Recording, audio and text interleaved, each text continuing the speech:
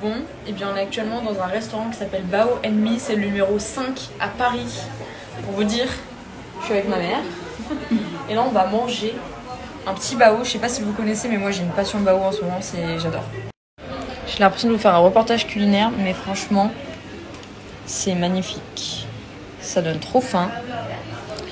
Et euh, regardez, riz gluant, coco, cuit dans du bambou. C'est incroyable. On est chez Swarovski, regardez, j'aime trop. Déjà leur collier, pépites.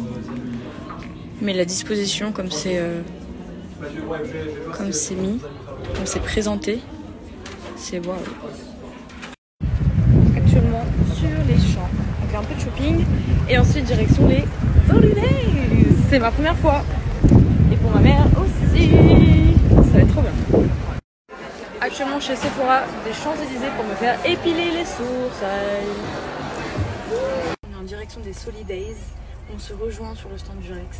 Ça va être trop bien, je crois. Donne des signaux pour dire ne me fais pas chier. Je. Est-ce que le fait que vous soyez deux séropositifs rapport euh, sans. euh, Mais même connaîtrais les- différent ou séro concordant, on appelle ça euh, séro Hop là